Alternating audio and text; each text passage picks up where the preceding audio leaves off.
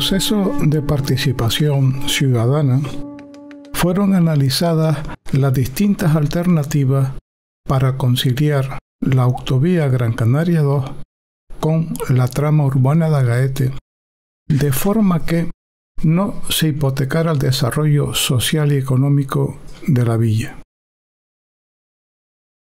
Alternativa Soterramiento total de la Gran Canaria 2 a su paso por el casco de Agaete.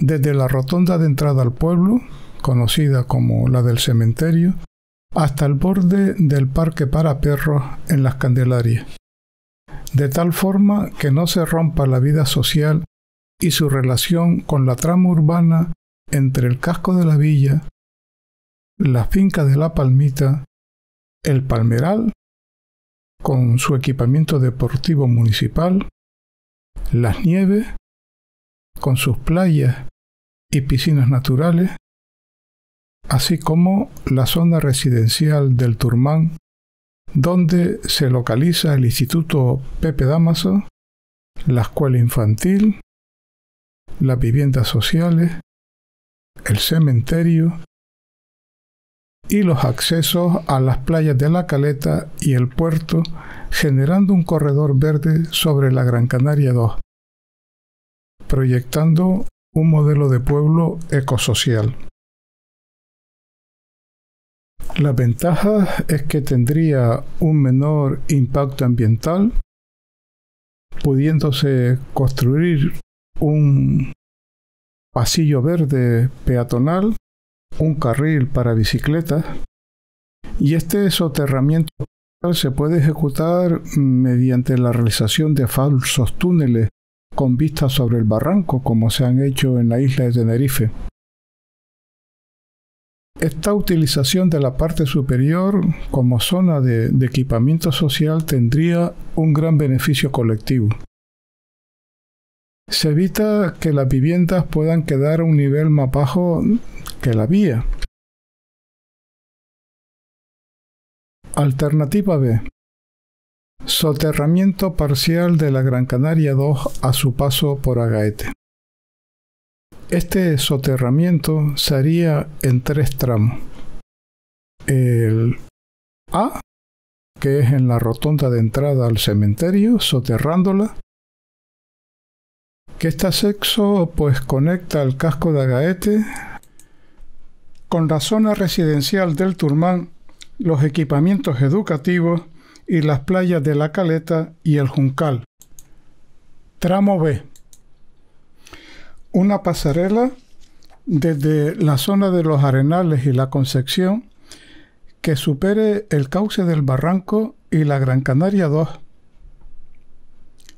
y que conecte con el Palmeral.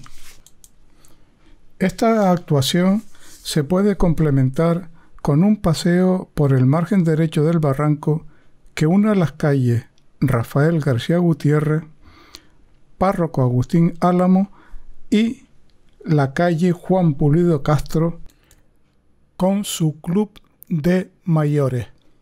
Tramo C. Zona de las Candelarias. Deprimir la Gran Canaria 2 para evitar que interfiera con la salida desde el puente de Agaete hacia el Palmeral, La Palmita y las Nieves con sus playas y puertos. Existen múltiples ejemplos de estos soterramientos parciales.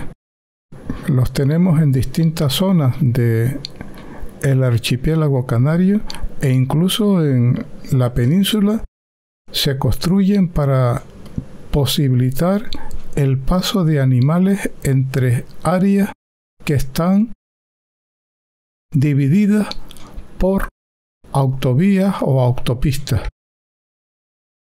Pero existe un dato importante que es en el estudio de movilidad insular de Gran Canaria, en donde hay un apartado de especial relevancia y dice Mejora de la carretera Gran Canaria 2.